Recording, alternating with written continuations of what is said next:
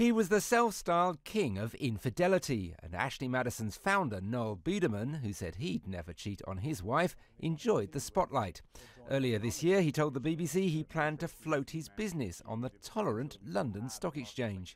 They're more comfortable with, let's call them sin or controversial businesses. They've taken a number of those out before and have done really well with them. Now, after the hacking attack which leaked his clients' data, he's left in a move which the firm says is in everyone's best interests.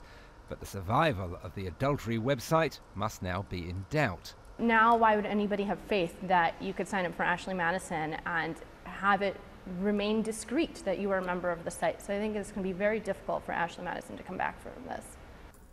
The leak of what appear to be internal Ashley Madison emails has raised new questions about the business and how many women were using it. It's clear from the emails that Ashley Madison had a problem attracting female users. One refers to the launch in Japan, with one Japanese city having more than 20 male profiles for each woman.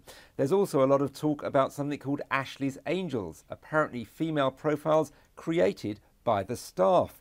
Another email talks of building angels en masse and says staff involved are running into the equivalent of writer's block. Meanwhile, the fallout from the leaking of customer data continues. One woman explained how she confronted her fiance after finding out he'd used Ashley Madison. We've disguised her voice. It was denial, denial, denial, and then when he was shown the proof, it, it became a bit more of a I'm caught kind of look in his eyes, and that's when he started confessing that yes, he had met up with multiple women on multiple occasions.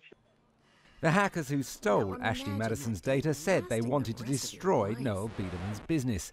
Today, they came a step closer. Rory Cellan-Jones, BBC News.